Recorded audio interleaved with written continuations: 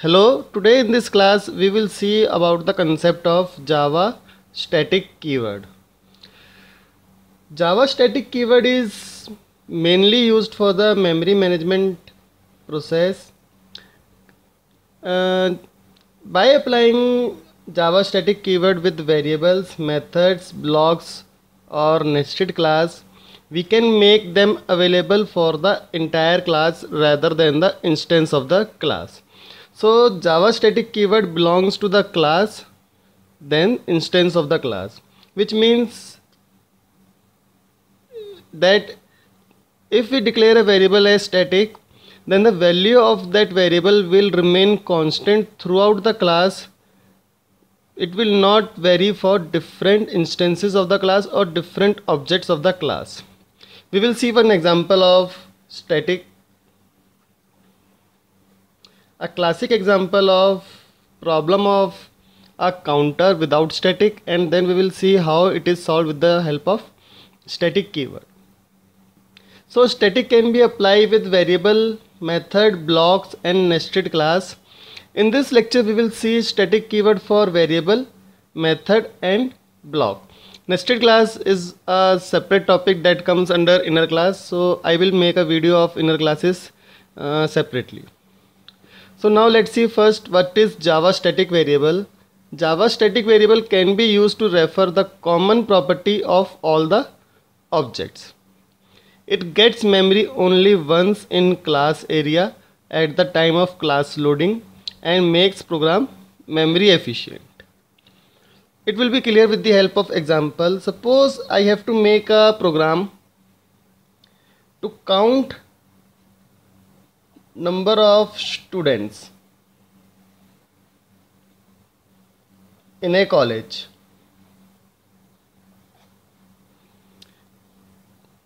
So i have to count number of students in a college. Now a college can have different branches like csc and it so i will create two different objects. One is csc and one is it and every time a new object is created that means a new student has get enrolled in the college the counter of the college class will get incremented.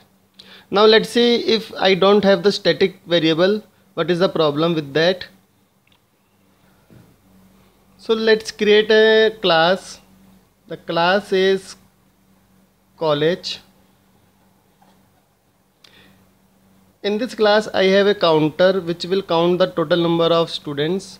So int count equals to 0 then create constructor of the class and increment the count value. So it will be count plus plus and print the value of the count in the system dot dot print system.out.println count. Then there is main method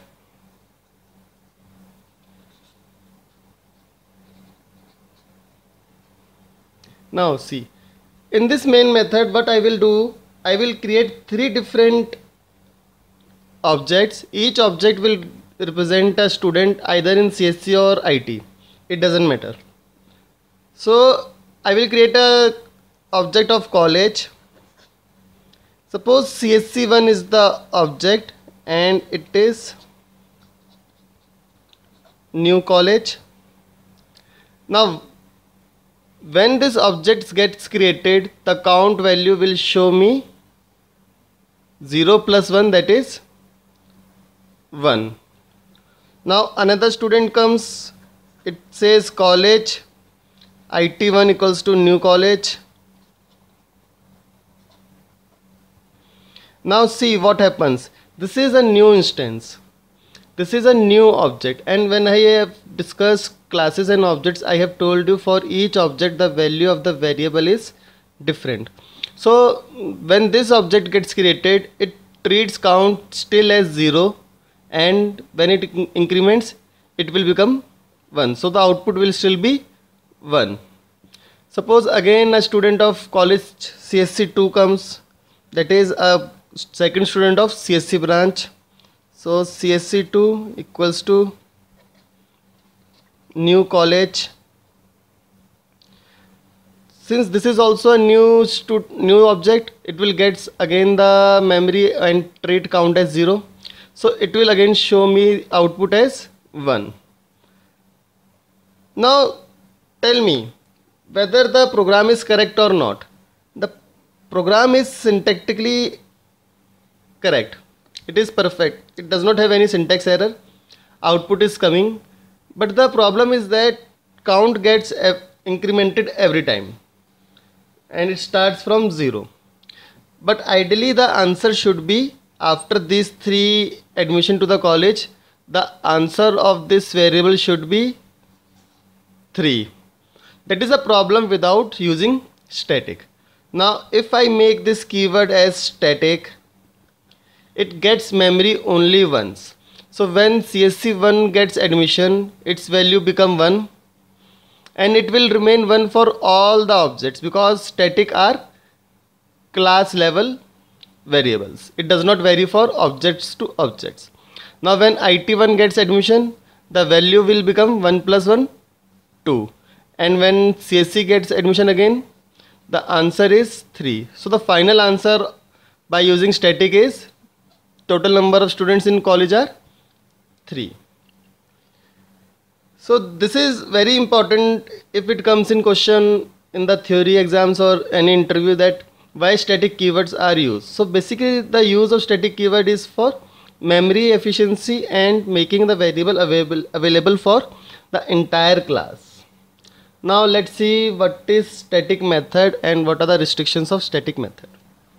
Java static method just like Java static variable, Java static methods also belongs to the class rather than object of class. It can be invoked without the need for creating an instance of a class which means they can be invoked directly without the need of creating stat uh, objects and they can access static data member and change the value of those static data members. Now let's create one simple example of using Java static method. I will just write an example and come back with the explanation of the example. This is the example. I have created a class C1, one simple variable int i. This variable is not static. This variable is not static one static variable static string name initial value is EEC then one method void update which is updating the value of the static variable. Now see I am using this static variable directly and changing the value in the static method which is this. Can access static data member and change the value of it. This is display method. It is also not static method. And in this display method I am just displaying the value of this name variable. Now inside the main method which is also static, I can directly call a static method. So I can directly write here update.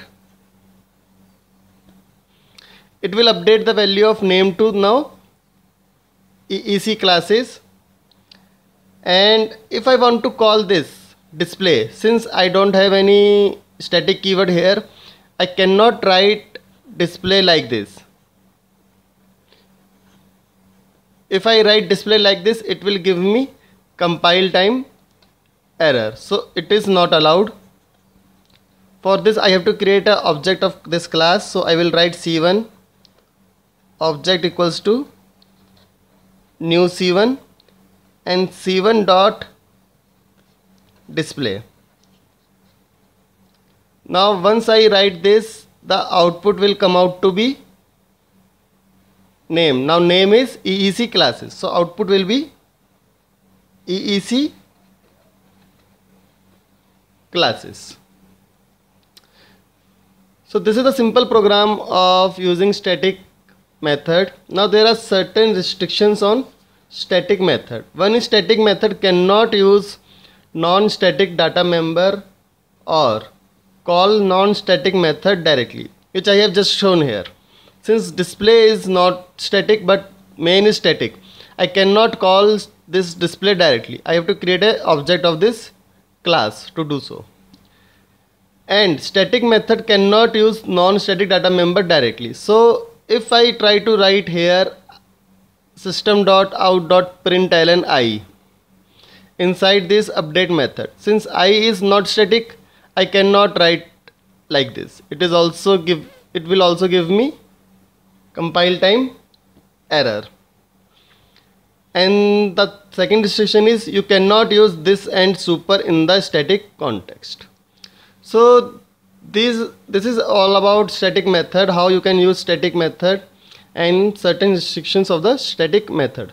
Now let's see about static blocks java static blocks are used to initialize the static data members.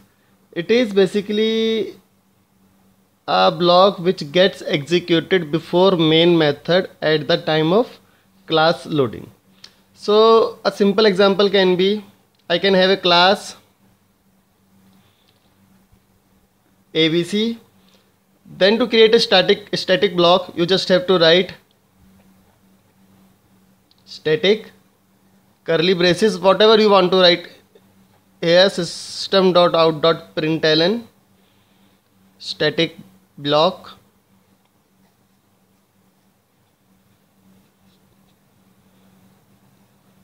Then you can have your main method.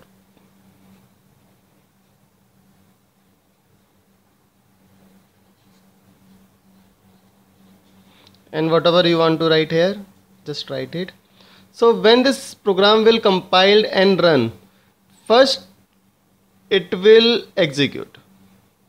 First execution will be of this particular block then execution from main method gets start. So if there is a question that can we execute a java program without main method Java program without main method so the answer is yes you can do with the use of static block but for J D K version for J D K version before one point seven so the answer is in the JDK version before 1.7 we can execute a Java program without main method with the use of Java static blocks. This is all about static keyword in Java. I will show the implementation of static keywords in the in a different in a separate video. Thank you for watching the video. Please subscribe to the YouTube channel for more tutorials on Java and other computer science related subjects. Thank you.